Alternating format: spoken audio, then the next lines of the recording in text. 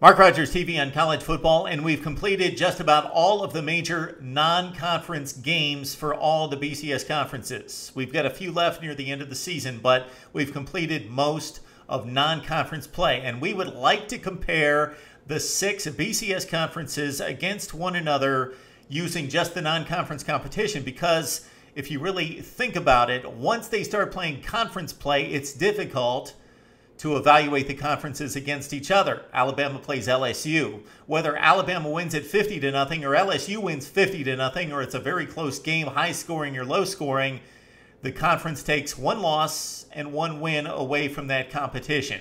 We can try to speculate and try to observe how well those games are played, but basically every conference of course finishes 500 against itself. So either the conference is top heavy or it's balanced one through whatever. Regardless, the strength of the conference is difficult to determine based on playing itself.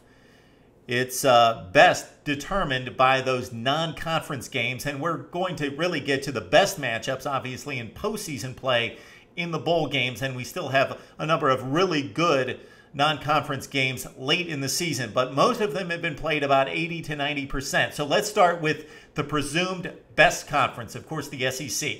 The SEC is 8 and 6 against the other BCS conferences. So against the Big 10, ACC, Pac 12, Big 12, and the new America Athletic or the old Big East Conference, the SEC is 8 and 6 against those other conferences.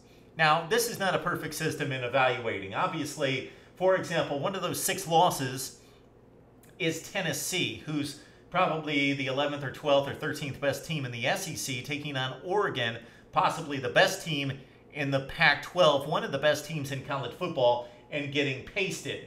So it's not necessarily fair matchups where your best team is taking on the best team in another conference or your fifth best is taking on their fifth best.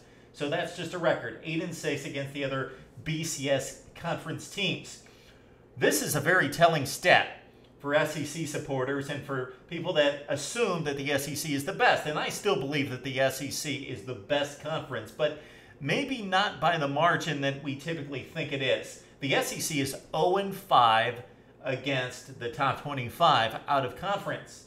Uh, that 1 and 5 figure means that uh, at the time of the game, uh, meaning that LSU defeated TCU when TCU was ranked in the top 25. That means that the SEC is 1 in 5 against the top 25 uh, that was currently ranked at the time of kickoff. Uh, against the current top 25, the SEC is 0 5. And of course, there's some nice matchups coming up later in the season. So let's run it down team by team and give you some perspective on how well the SEC fared against the other conferences. Okay, we start with the top dog, Alabama took on one BCS conference team, and that was Virginia Tech, and the Tide won it handily 35 10, but that would be uh, expected since Alabama is number one in the country, defending national champion, defending uh, SEC champion, taking on about the fourth or fifth best team in the ACC and probably about a top 40 or 45 team in Virginia Tech. Bama won it as expected.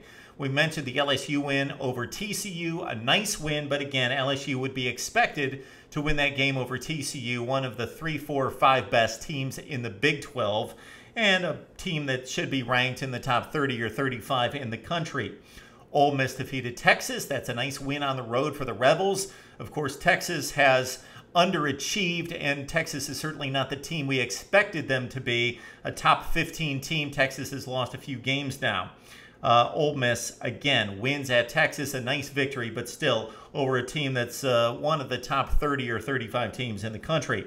Texas A&M defeated SMU as expected. Uh, Auburn defeated Washington State, a decent win, but at home, and certainly we would expect Auburn to win over Washington State.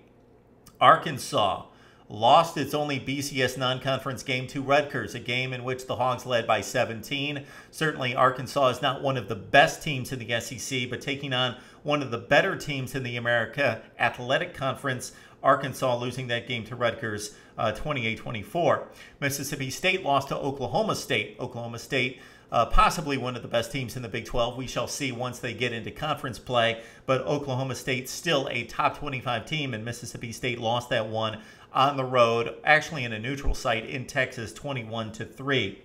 Of course, the huge matchup in the non conference season with the SEC and the ACC matched Georgia and Clemson. This certainly not an embarrassing loss by any stretch for the SEC in losing to one of the top three or four teams in the country in Clemson, but still, it was one of the SEC's top three to four teams taking on possibly the ACC's best team, or certainly one of its top two or three. And Georgia lost that game head to head at Clemson 38 35. Really, the big downer for the SEC in the non conference season was the game that Florida played at Miami.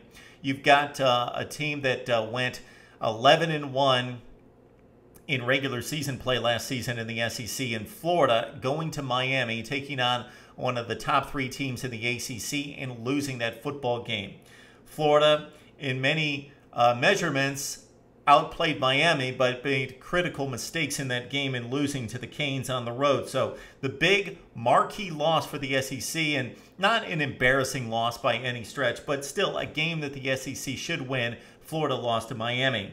South Carolina defeated North Carolina, which at the time of kickoff seemed like a significant victory, but North Carolina has not played good football since, just got blasted by East Carolina. So South Carolina's win over North Carolina, not great. Uh, they just defeated Central Florida as well.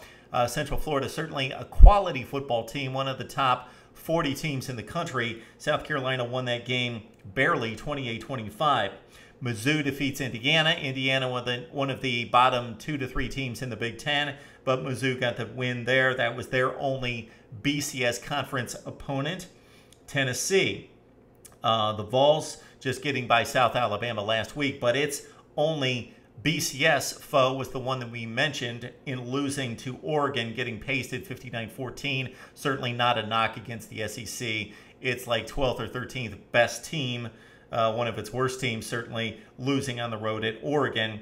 Uh, finally, we got Kentucky losing to Louisville by a couple touchdowns. No shame in that. Kentucky, again, one of the worst teams in the SEC, losing uh, by just a couple touchdowns to the best team in the America Athletic Conference and one of the best 10 or 12 teams in the country in Louisville. And though this would be a bad loss, Kentucky losing against Western Kentucky, losing to a non uh, BCS conference team.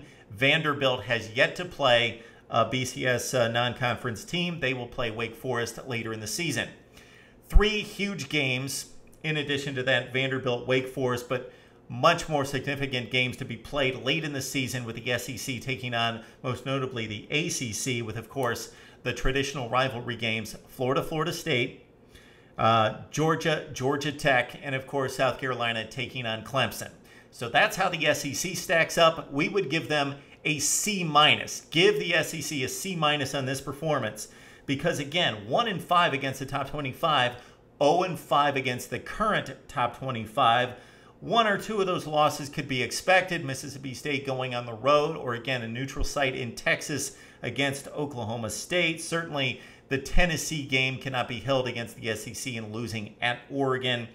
But Big matchups against the ACC and the SEC went down. Florida to Miami, Georgia against Clemson. Uh, the LSU game against TCU doesn't look as significant as it did at that time.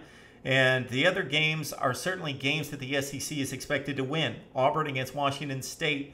Uh, there was another game in which uh, similar foes uh, similarly matched foes, an equal match in Arkansas and Rutgers, and the SEC lost that game. So again, eight and six overall against the BCS, one and five against the top 25, or 0 and five against the current top 25. So, would love to hear what you have to say about the SEC's performance against the rest of the country, right here on Mark Rogers TV.